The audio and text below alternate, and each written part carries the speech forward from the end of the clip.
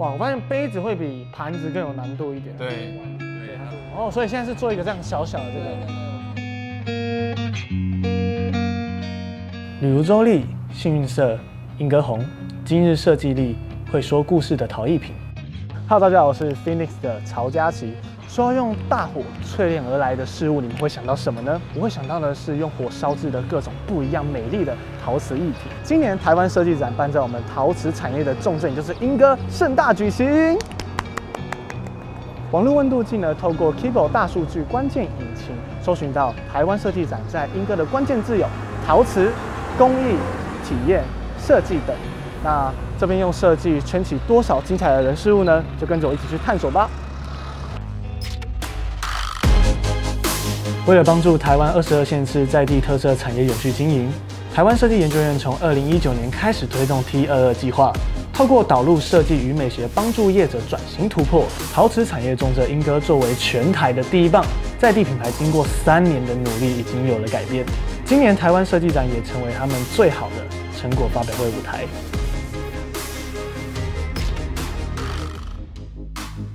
刚刚看完这个展区，其实真的是满满的感动。尤其是，其实在外面那个海报是非常非常具有意义的，因为这个是代表在莺歌这个陶瓷的产业，从我们的初代、一代到二代的一个文化的传承，就是象征着这件事情会生生不息的延续下去，代表这个文化能够得到永续的经营。而且看到非常非常多精美的手工和这样子一代跟二代不一样的创新，其实原来我们台湾还有这么这么棒的一些文化的传承正在进行当中。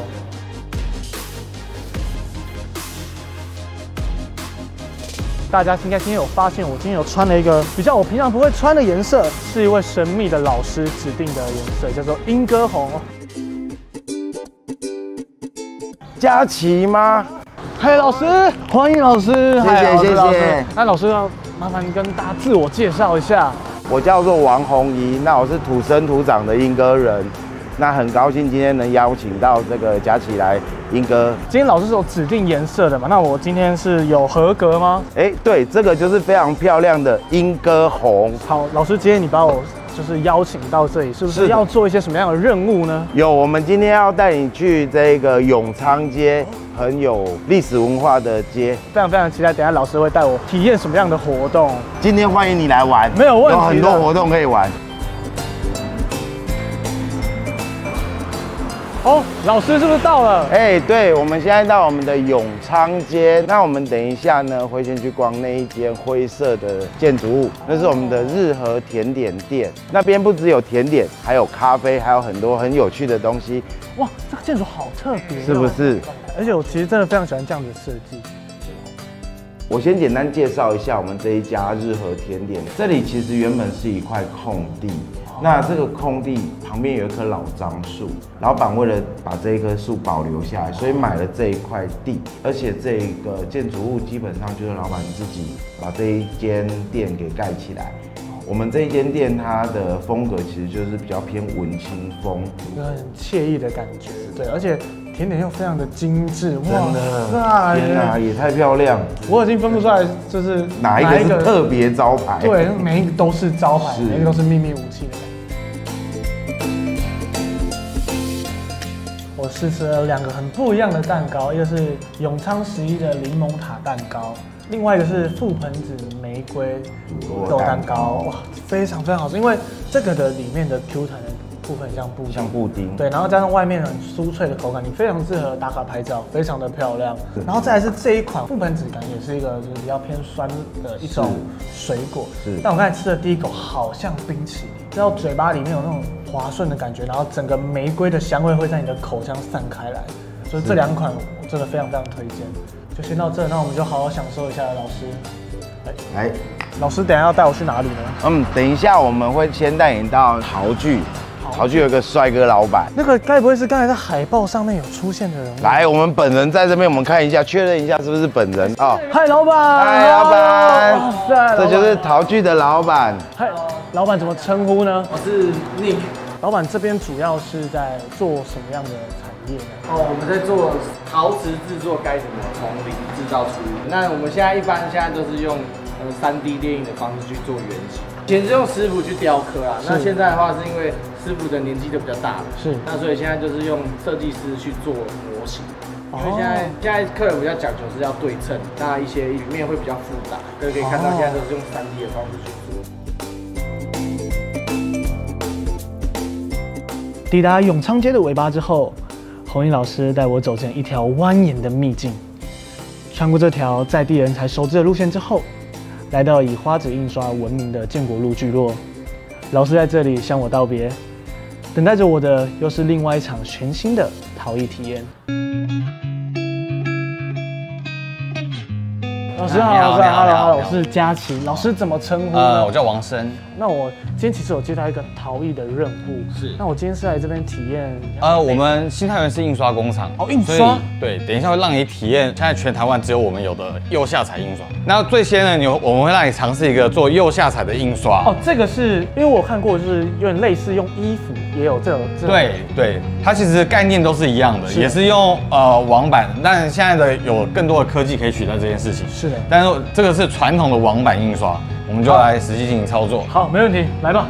往下刷就可以了。来我们亲自操作看看。来，我们可以看到为什么会这样，就是力道不够均匀。哦，我再一次，我再一次。好，哎、其实这样就是可以的。这样可以吗？可以的，可以的。有七十分，有七十分，太棒了！所以要现在送到产业线上面，对不对？对，我们做烘干的动作。好的。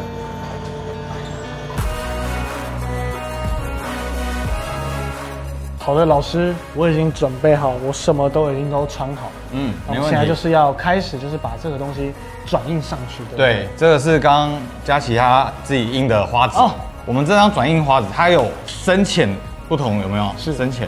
那我们深的部分呢，就是要往瓷器身上去，像我们就剪自己想要的。对剪自己想要的东西，然后我们就把它放在你想要的位置上，然后呢，我们就沾一点水然后直接在上面刷过去。但你刷过去的时候要用一一点点的力气，对，然后我们等大概十秒钟，好有点像纹身贴纸的感觉。我们刷过去之后，可以慢慢的打开它，可以看到它上去的时候呢，呈现在上面。哦，哦很清晰耶。对，然后你可以看我这张花纸有没有，刚生的那一面它也变淡了。对，对，所以说这个东西它只能转印一次，如果一次失败了，这张纸就是不能用的。哇，我发现杯子会比盘子更有难度一点。，对，对，它是歪比较立体的。好。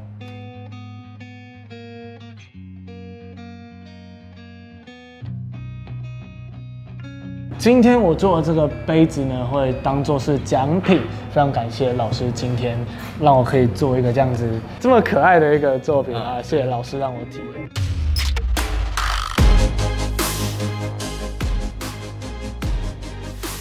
好的，现在来到这个展区 S 三是延续了我们去年莺歌产地开放日的理念，不仅在这个空间打造了台日公益现场以外呢，还请到了来自日本的职人们，展现所谓的日本的陶艺作品，所谓的立肩烧，供大家观赏跟购买。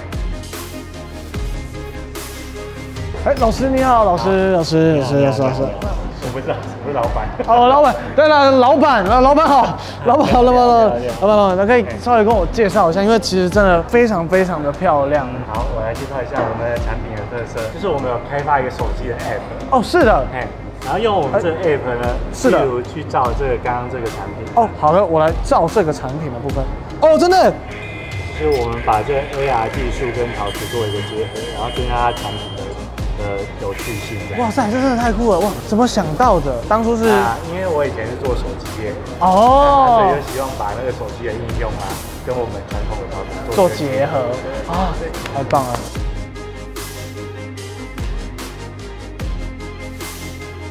其实今天的一整趟旅程都非常非常的印象深刻，尤其是红衣老师带我体验了非常多英歌的在地的传统文化，让我深刻的能够了解到这边的历史文化跟特色。